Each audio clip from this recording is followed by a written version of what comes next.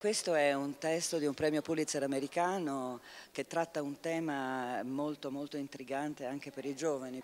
Una scrittrice che ha vissuto la, il periodo grandioso della Beat Generation come movimento rivoluzionario che si è opposto a un sistema puritano, eh, ehm, claustrofobico, che erano l'America degli anni 50.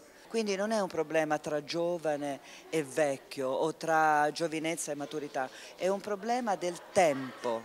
Bisogna darsi il tempo perché le cose arrivino dentro di te e diventino tue. Il segreto di questa grande scrittrice che prende eh, per insegnare eh, scrittura alla giovane allieva è una relazione tenuta segreta con il poeta della Beat Generation, Delmore Schwartz. Questa mm, relazione che lei ebbe 30 anni prima ha illuminato di eh, incredibile lampi di genialità la sua vita eh, e quindi lei tenta in qualche modo di trasferire quello che è l'insegnamento del Beat Generation. Questo spettacolo cosa aggiunge alla sua già vastissima esperienza?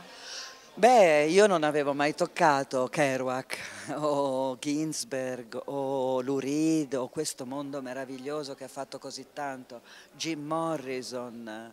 Jim Morrison era un seguace di Delmore Schwartz, quindi tutto quel mondo che si è poi autodistrutto attraverso la dexedrina e l'alcol.